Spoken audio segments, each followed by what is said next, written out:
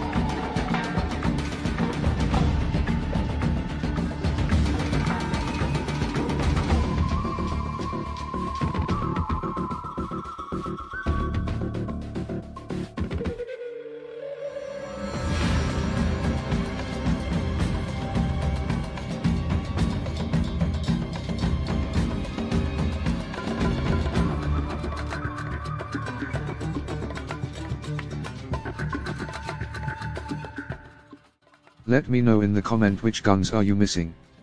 Thanks for watching the video. Please help me reach 500 subscribers so I can start giving away battle passes every month. See you in the next video.